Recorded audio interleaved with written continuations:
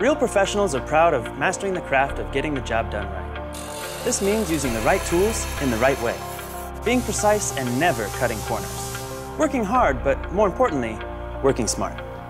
Holes were drilled, cracks were filled, objects were moved, and things were built using inferior tools or even no tools at all. But real makers don't just get things done, they get things done just right.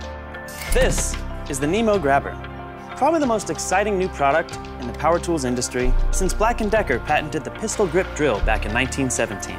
This small, lightweight grabber is capable of instantly connecting to almost any surface, rough or smooth, making it easy to pick up, move, and place different objects, such as furniture, plywood, tile, and much, much more.